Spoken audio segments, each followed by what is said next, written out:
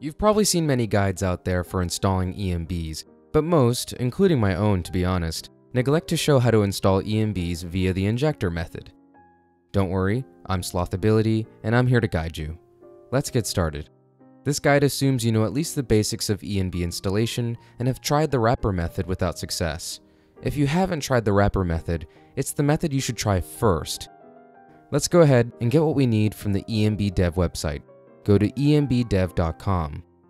Once you get there, you should be seeing a page that looks a lot like this. You won't see any super obvious enter signs anywhere, but what you have to do is click on the underlined word news down below. Once you hit on news, you'll arrive at a page that looks like this.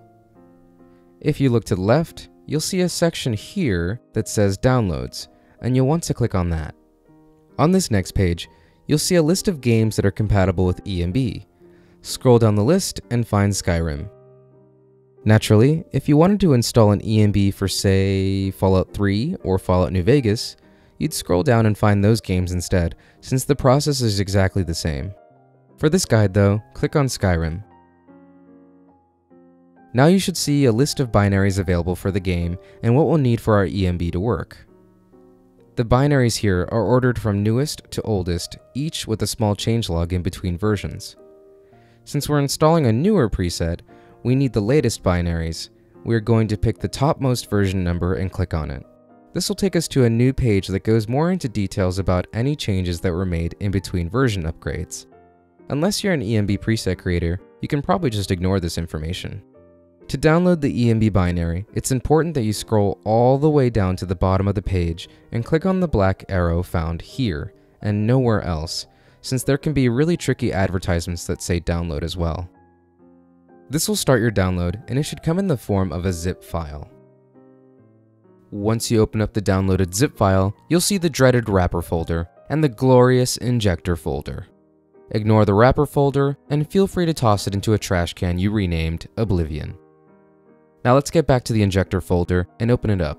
We only need exactly five things from here. We need the enbhost.exe, enbinjector.exe, the enbinjector ini, the enb local, known as enboost, and finally, the enbseries.dll. Copy all five of these and we will be pasting them into our main Skyrim game folder, which if you forgot, it's typically in Program Files, Steam, Steam Apps, Common, and then finally the Skyrim folder, as shown on screen now. Right-click and paste the five files we copied from the injector folder. Now that we have what we need, let's download an ENB preset. I'm going to use my MENB as an example, and I'll put a download link in the video description below. Go to the download file section and pick one of the preset versions. I'm just going to pick the vanilla lighting version for this guide. Now that we have our preset downloaded, Open it up and you should see something like this. There should be a few optional folders and an ENB series ini. There's also an ENB local file included, but for this guide, we're going to ignore it. You only need to copy the ENB series folder and the ENB series ini, and we will be pasting these into our Skyrim main folder. Sounds familiar, right? That's because both the ENB injector files and the ENB preset files go into the same Skyrim folder. Now let's go ahead and configure the ENB local file. If you don't know what ENBoost is, it's the part of an ENB that manages the memory in Skyrim and allows you to surpass the 3.1 gigabyte limit. It's a really beneficial utility that can be used even without any of the ENB effects on, and can still help keep your game stable. It comes in the form of the ENB local file we put in here earlier, and needs to be configured to your system. This is simple and only takes a minute. The good thing about doing this is that once you do it once, you really don't have to do this again. You can reuse the same ENB local file in any new preset you download as long as the ENB binary version is 196 or higher. ENB versions lower than 196 can't benefit from ENBoost, and this step can be skipped. Now let's go ahead and open up the ENB local file by double-clicking it. You should see a few different sections, but the ones we need to worry about are the memory, engine, and anti-aliasing sections. Let's go under memory first. Under memory, you're going to want to set expand system memory, reduce system memory usage, and enable compression all to true. The rest should be set to false, and you shouldn't toggle them unless you know what you're doing. If you start to encounter stuttering in your game, you can try to set enable compression to false, but it's not recommended by the creator of ENB. The next thing we need to change is the reserved memory size in megabytes. I personally put down and recommend 512 for this, but if you experience stuttering in game, try lowering and increasing this in increments of 128. The lowest you can set this at is 128, and the highest you can set this at is 1024. The next part of the memory section is probably the most important, and it's called video memory size in megabytes. How you set this up depends on what operating system you have and how much RAM you have as well. For 32 and 64-bit operating systems, if you have less than 8 gigabytes of RAM, you use a simple formula to figure out the video memory size in megabytes. So you take your VRAM, add your system RAM, and then subtract by 2048. For example, if I had a 4GB NVIDIA graphics card and a 4GB of system RAM, my equation would then be 4096 plus 4096 minus 2048. Pretty easy, right? As a result, my video memory size in megabytes would be 6144. Now, for users with 64-bit operating systems with 8GB of system RAM or more, there is a different formula you should use depending on your operating system. For Windows 7 users, you take your total available graphics memory and subtract by 170.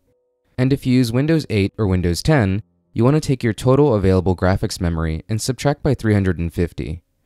Now, total available graphics memory is not the same as just your VRAM.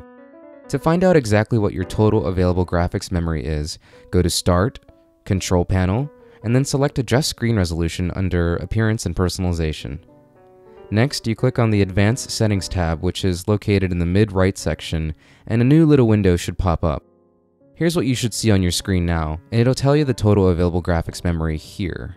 I happen to have a 2GB graphics card, but my total available memory is 4096. My operating system is 64-bit, and I'm running Windows 7.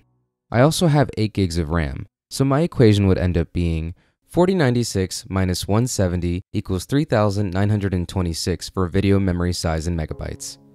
Just so you know, the highest value you can set this at is 10,240, so if your equation ends up higher than that, just put down 10,240. Whew, okay, that's the hard part. You've gotten it out of the way. Let's scroll down and take a look at some of the easy stuff.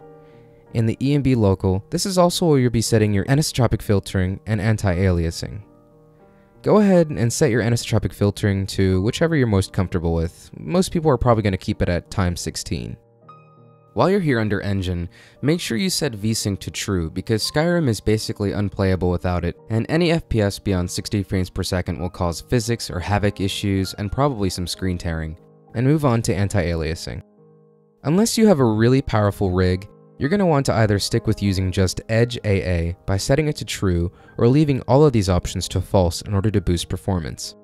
There's one last section of the ENB local file that I quickly want to go over, but I'm not going to cover in depth. There's a fix section at the very bottom under anti-aliasing.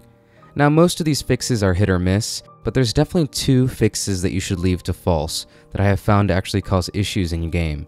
The first is fix aliased textures equals, and this one actually ends up removing some of the detail you'll find in your textures and just makes noise look really strange on certain high-res texture packs, so I recommend setting this to false.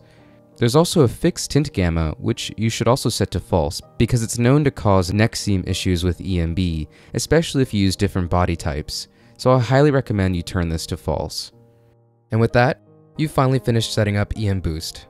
As I said earlier, while this seems like a hassle, you'll never have to do this again, and not many ENB preset authors provide you with a configured ENB local file, and now you have your very own, tailored for your system. I'd make a backup of it and store it somewhere safe just in case. If an ENB preset author does actually give you an ENB local file, you should use it, but make sure you copy your memory values and paste them into the new ENB local you're getting from the ENB author. The chances are high that if the author provides an ENB local, they're using what's called SweetFX, and it's something that I'll be covering in another video. Now that we have ENBoost settings figured out, we need to make a quick INI change in the ENB injector INI we pasted in here earlier. Double click on the ENB injector INI and it should open up like a notepad for most people. You should be seeing something like this. Under target processes, you're going to need to add SKSE as the first target process, which is process 0. This means you'll have to copy and move the two previous processes down by one. For process name 0, write in skse underscore loader.exe. So your target processes should look like mine on screen now. Go to the top left, hit File, and save the changes we've made. We're finished here.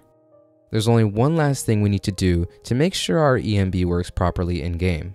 We need to make a couple quick Skyrim ini changes. We need to get to our Skyrim pref ini, which can be found under My Documents, My Games, and in the Skyrim folder. Keep in mind that this is not the same Skyrim folder we were working in earlier. Once here, you should see two different kinds of Skyrim inis. Before we do anything else, I want you to make a backup of your Skyrim inis and put them somewhere safe. This is just in case you forget any changes we made and can easily roll back to them if you uninstall an ENB in the future. Alright, let's open up the Skyrim Pref ini by double clicking it. It should open up like a notepad for most people. The only section we want to take a look at is the display section, found near the top. Search and find B float point render target. I'm going to spell it out because that's a mouthful. I'd use Ctrl F to quickly search for this, but you can also scroll down and find it manually. If you don't have this setting at all, you can simply write it in and add it anywhere under the display section. We need to set this to 1, so what you should have is b float point render target equals 1. If you wrote it in, it's really important that you spell it correctly as shown on screen now. Still under the display section, we need to turn off hardware anti-aliasing and anisotropic filtering. You can technically do this in the Skyrim launcher, but it's easier to do it while we're here. Search and find i multisample equals and set this to 0. This is your hardware anti-aliasing settings.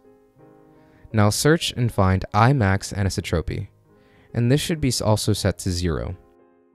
Some of you might ask why we're doing this, and the reason is because those two settings have already been set in your ENB local file. If you try to use hardware anti-aliasing and anisotropic filtering, it will conflict with the ENB's version of it, and you'll end up with visual glitches in game, like seeing through walls or mountains. The only exception to this rule is if you use ENB binaries version 119 and below, as version 119 was the last to support hardware anti-aliasing and ENB. Last but not least, some presets, including my own, recommend other changes that help with shadows. For my preset, this includes B shadows on grass equals 1, B trees receive shadows equals 1, and B draw shadows equals 1. These changes help to make Skyrim ENBs look even better and don't negatively impact your game besides the occasional performance drop, but this all depends on your mod list. And that's it. Make sure you go into File and save the changes you've made here and give yourself a good pat on the back. You've just installed an ENB from scratch and even configured ENBoost. With your Skyrim ini changes all finished, let's go back into our main Skyrim folder. ENB wrapper users would now be able to launch the game and quickly enjoy their ENB. Unfortunately, injector users need to make sure they have the ENB injector running every single time before starting up the game. So find the exe called ENB injector and double click it to have it start running. This sounds like a pain in the ass, but that's why I recommend creating a shortcut and adding it to your desktop, start menu, or the taskbar. You can now launch your game and you should be good to go. If for some strange reason the ENB injector is not properly finding your correct graphics card, I highly recommend you check out Optimus Fix, and it may fix your problem. I'll be sure to put a download link in the description below. One last piece of advice for injector users. Please do not try to use statistic monitors alongside the ENB injector in playing the game. You're just going to run into a lot of glitches such as CTDs, infinite loading screens, you name it. They just do not play well together. For more advanced settings not covered by this tutorial, I highly suggest that you check out the STEP forums or Wiki, and you can find them on the website that I'm going to link in the video description below. I'm Slothability, and if you found this tutorial helpful, feel free to embed it on your ENB mod page or share it with other people who might need some help. Thanks for watching, and I'll see you in the next tutorial.